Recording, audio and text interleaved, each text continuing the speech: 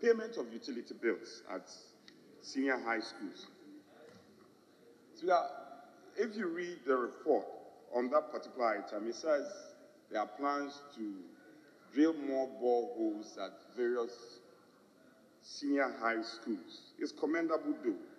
But electricity provision, I am one person who strongly believe that if we can effectively buy into solar provision for these secondary school centers, we will win them off the national grid and we take a huge load off the national grid. It's something maybe the Ministry of Education can look at in collaboration with the Ministry of Energy.